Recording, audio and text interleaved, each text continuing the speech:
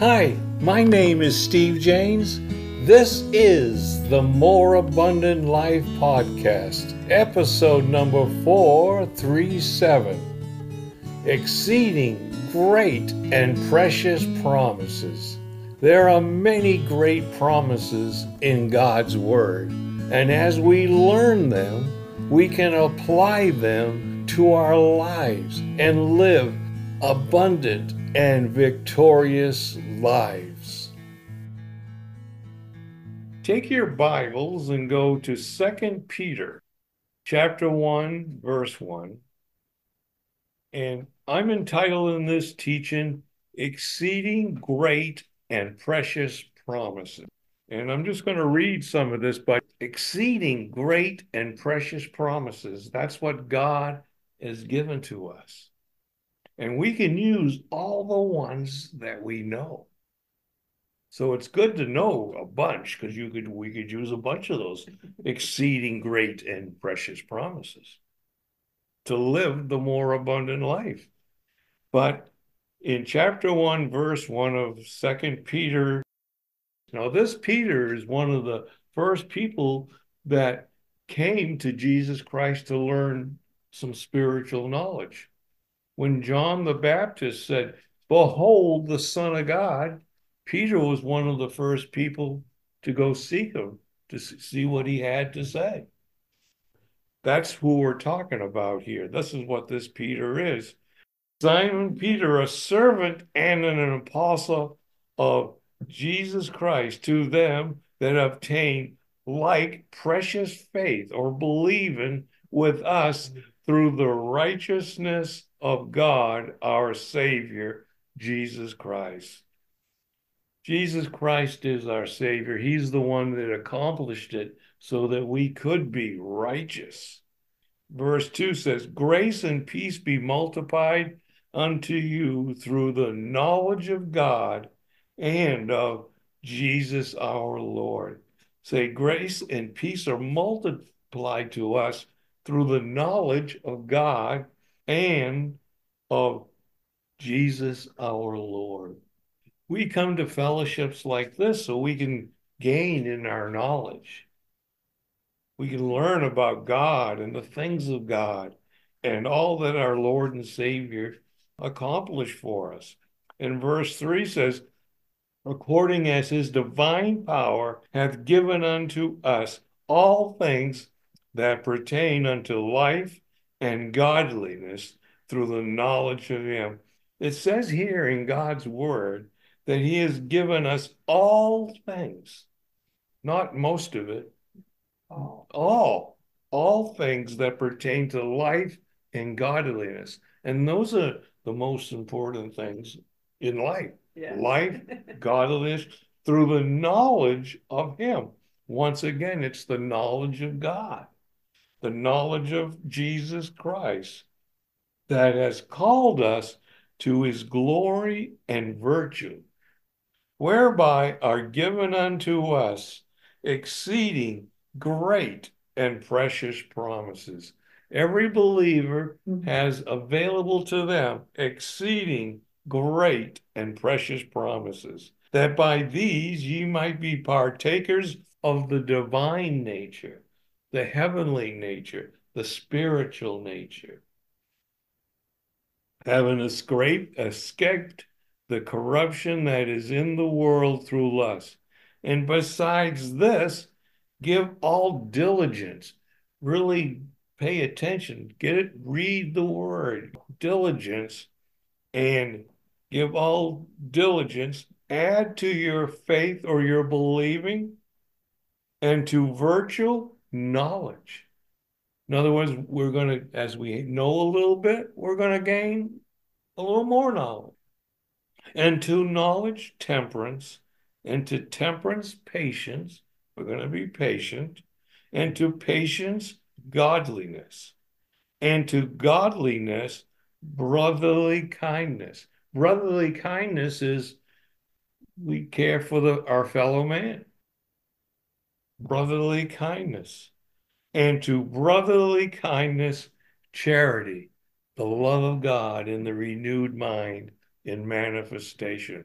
or the love of God in our minds in action. We become lovers, lovers of people with that love of God that we receive when we get born again.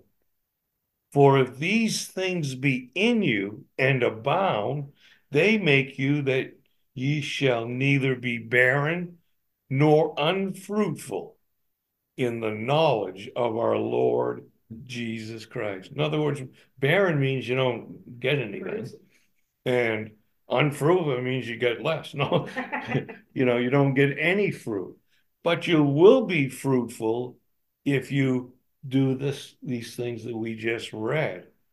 We believe, we get power, we're, we're going to gain knowledge, we're going to be temperance, we're going to be patience, we're going to have godly love for our brothers, the fellow man.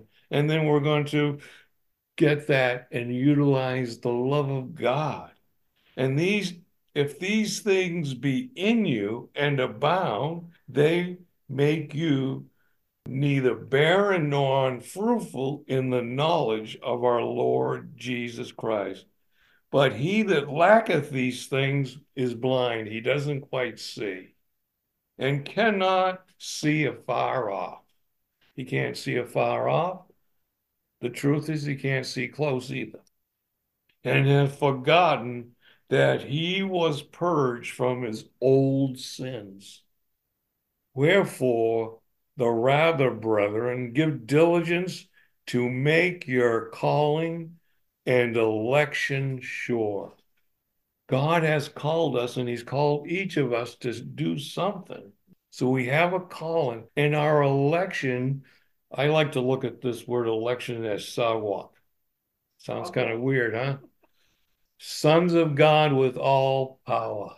That's who we are. We're sons of God with all power. We have the power to do what we need to do and what we can get done. So we want to give diligence to make sure we know our calling and the power we have to get it done. For if ye do these things, ye shall only fail a little bit. Oh, never. It says never fail. Never fail. If you want to be successful in life, that's what you give diligence to know who you are. For so in in entering shall be ministered unto you abundantly unto everlasting kingdom of our Lord and Savior Jesus Christ. He has called us to his kingdom, the kingdom of God, mm-hmm. accomplished by Jesus Christ. And this kingdom will last forever everlasting. It's a lot longer than just what's here on this day and time. And it's it was accomplished by our Lord and Savior, Jesus Christ. Therefore, I will not be negligent to put you always in remembrance of these things. And that's what every good minister does. He'll put you in remembrance to who you really are. You're a son of God with all power. Though you know them and be established in this present truth, yea, I think it meet, as long as I am in this tabernacle, to stir you up by putting you in remembrance. Peter is saying, as long as I'm got this life, I'm going to put you in remembrance of these things, that you're a son of God with all power, that you're righteous, your sins have been forgiven, you're going to heaven and all hell can't stop you. All the things that you can learn in God's word, I'm going to put these in remembrance. I want you to remember them so that you can have them for the rest of your life which is eternal. Knowing that shortly I must put off this tabernacle, even as our Lord Jesus Christ has shown me. Here's the Apostle Peter. He got revelation that said he's not going to live much longer. But that doesn't bother him. as long as he's alive, he's going to put people in remembrance of what our Lord and Savior accomplished for us. He's going to do that. And moreover, I will endeavor that ye may be able after my decease to have these things always in remembrance. When I read these verses, I think, well, that's what I want to do. Mm-hmm. I want to keep teaching the word as long as I possibly can. I have not gotten any revelation that my time is at hand. But I do know this I've lived a lot longer than I'm going to live from here unless Jesus Christ returns. And then, well, I'll be with him and you guys will be there too. So, but so I just keep going to keep teaching the word. Mm-hmm. I'm going to keep putting people in remembrance of what's available, bringing them to the knowledge of God's word so they can tap into those resources of those exceeding great and precious promises. Mm-hmm. We can utilize all the ones we know. I've heard there's over 900 promises in the word of God. There's a lot of promises there. We looked at one last week that if we pray for our country, that that's what God wants us to do. And if we do that, we can expect expect good government. And that's why we prayed for some of that stuff this morning. We want and expect God to work for us. Verse 16 says, For we have not followed cunning, devised fables when we make known unto you the power and the coming of our Lord Jesus Christ, but were eyewitnesses of his majesty. Peter was one of the first disciples of Jesus Christ. He was eyewitness. He was there when John said, Behold the Lamb of God. And they followed him. He says, I'm eyewitnesses of this.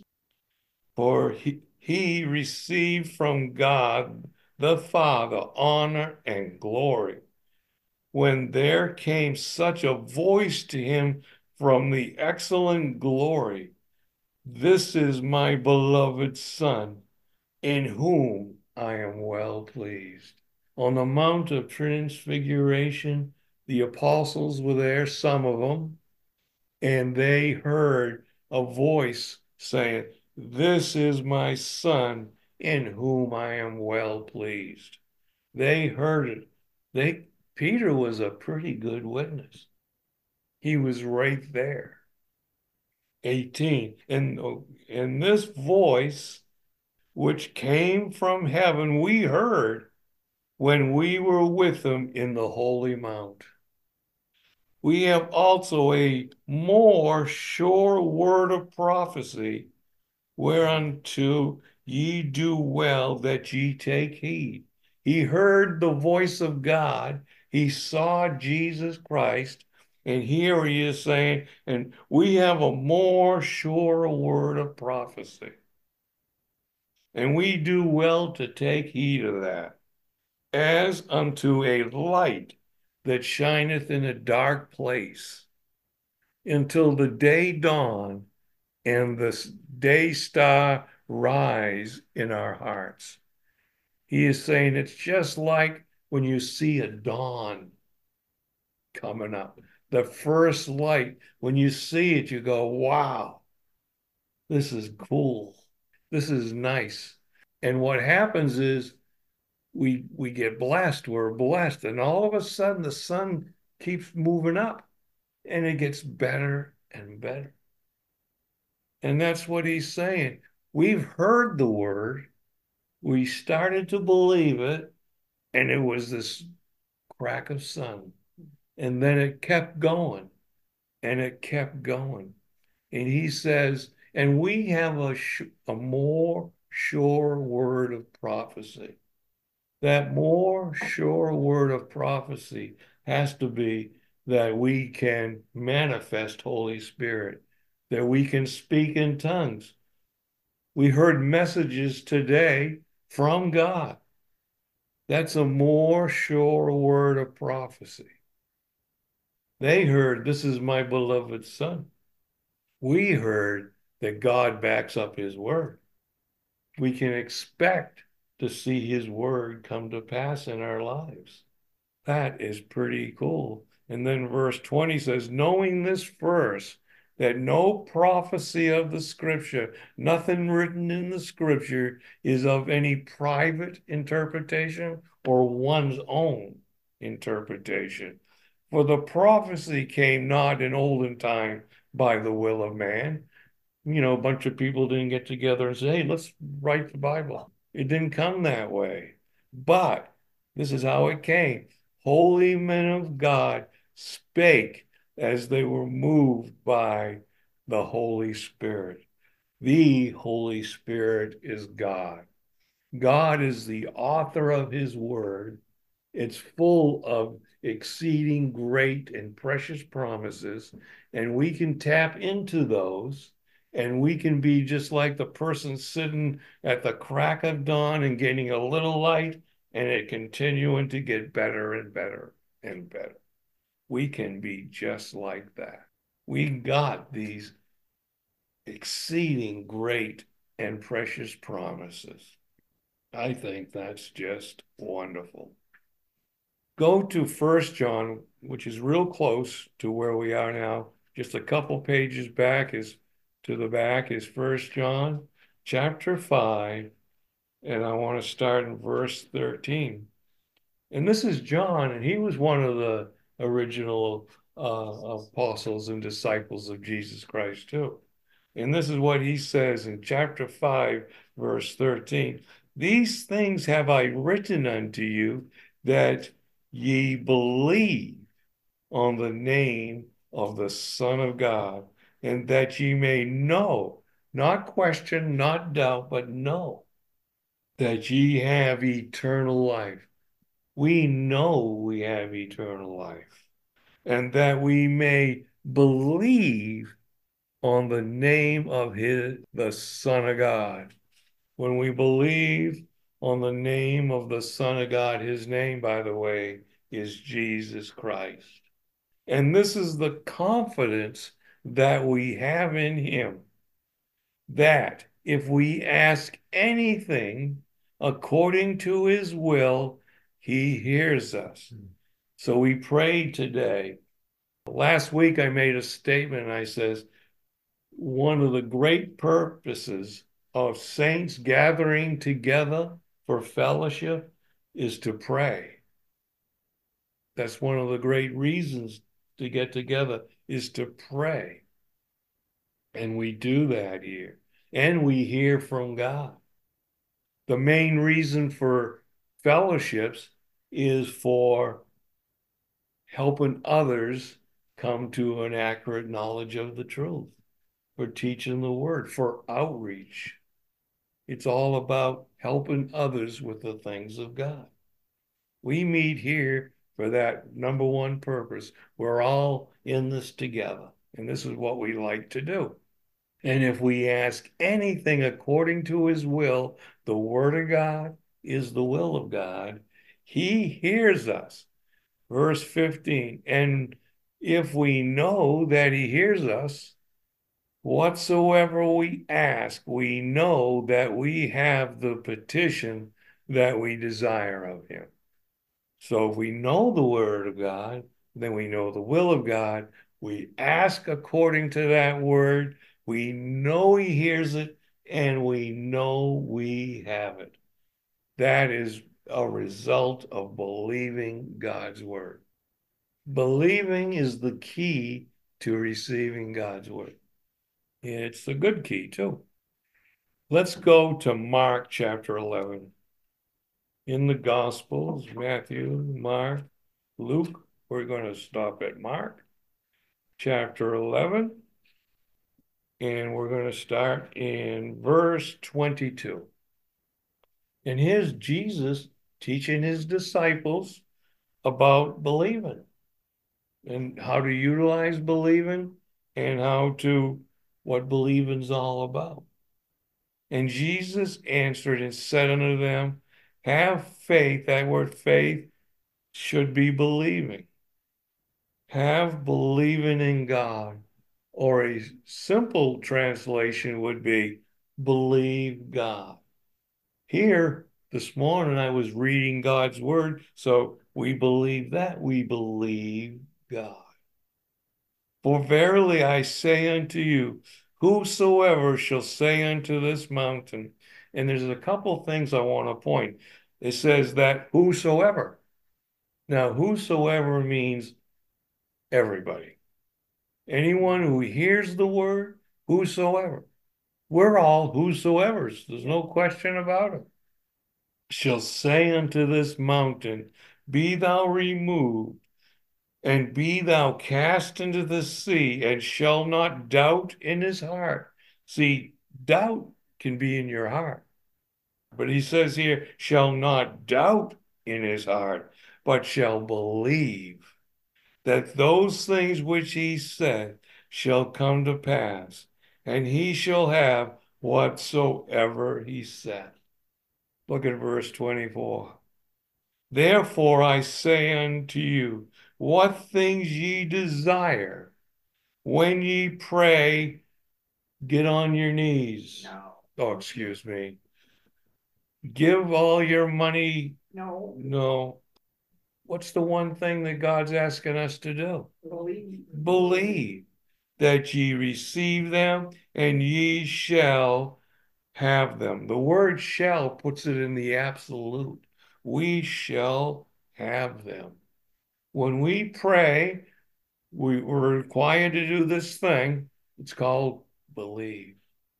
And when we do, we shall absolutely have it. We act like we've already got it because we will get it. We will receive it. It's called the law of believing. It's called a law because it's faithful. It happens all the time, like the law of gravity. Heard about that one? Every time the law of gravity works. That's why they call it a law. The law of believing works every time. You find a promise, one of those great, exceeding, precious promises. I wanted to say it exactly like it was written. You believe it and you get it. It's just simple. You want it? Believe it. That's how it works. I got a statement I want to read to you. It says, the person who says that they can and the person who says they can't are both right. See that? The person who says I can and the person says not me, I can't do it, they're both right. We can believe all the promises in God's word and we can receive. The thing is, we got to believe. It helps us to believe. Let's go to Hebrews chapter 4. Hebrews chapter 4 in verse 2. You know what they call us sometimes? And we call each other? We call each other believers. I like being called a believer. It helps us in believing. What are you? I'm a believer. I believe the word and I'm going to receive the word. That's what I'm going to do. It says in chapter 4, verse 2 For unto us was the gospel preached, as well as unto them. Others heard the word of God too, but the word preached did not profit them, not being mixed with believing, faith, believing, and then them that heard it. Two groups of people in a place. Mhm. They all hear the word of God. Some of them believe and they get it. Some of them do not believe. It's not mixed with believing. They don't get it. I want to be one of the ones that gets it. I want to be called a believer. I don't want to just be called a believer. I want to be a believer. To believe the great things in God's word. And look at verse 16 in the same chapter 4. Let us therefore come boldly unto the throne of grace, that ye may obtain mercy and find grace to help in time of need. We have a need when we something comes across our path. We need something. We can come boldly to God and pray and find grace in the time of need. Pretty wonderful. I want to close in one section of God's word that is so important. It's Romans chapter 10. And we're going to start in verse 8. What saith it? What's what does it say? You ever heard someone say that? What do you say? What does it say? The word is nigh thee, even in thy mouth and in thy heart. That is the word of believing, which we preach which we preach here, that if thou shalt confess, confess means to say it. Confess. I say it, I believe it. If thou shalt confess with thy mouth the Lord Jesus, and shall believe in thy heart that God has raised him from the dead, thou shalt be saved born again, receive that virtue, that power. It's a spiritual power, it's Holy Spirit. And then you can learn to operate that Holy Spirit by reading God's word, having been taught it, and then practicing it and start to receive exceeding great and precious promises. Verse 10 For with, with the heart the man believeth unto righteousness, and with the mouth confession is made unto salvation. For the scripture said, Whosoever believeth on him shall not be ashamed. If you believe in the word, you believe in what Jesus Christ accomplished for you, you will not be ashamed. I want to end with this thought, okay? You are and I am today where our believing's brought us. We'll be tomorrow where our believing brings us. We can believe the promises of God's word and receive that, and that can be our lives. Mm-hmm. Our lives can be lives of victorious living, the more abundant life. Jesus Christ came so that we could have it. And it takes one thing, one word believing. We need to believe the word and then we can receive it and then have that more abundant life that Jesus Christ came to make available tap into some of those exceeding great and precious promises and utilize them. And we'll help each other to do that here. Yep. Okay? God bless.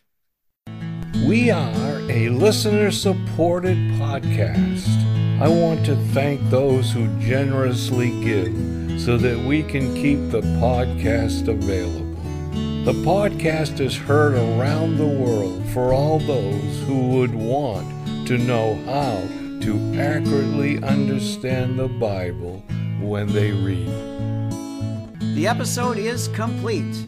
So head over to stevejaynes.com. If you're interested in learning how to read the Bible, there's also an audio class and companion books available on how to read the Bible for understanding and power. The website has audio teachings and biblical studies books, all there to help you grow in God's grace and in the knowledge of our Lord and Savior Jesus Christ. Listen next week for another reading of God's wonderful, matchless Word.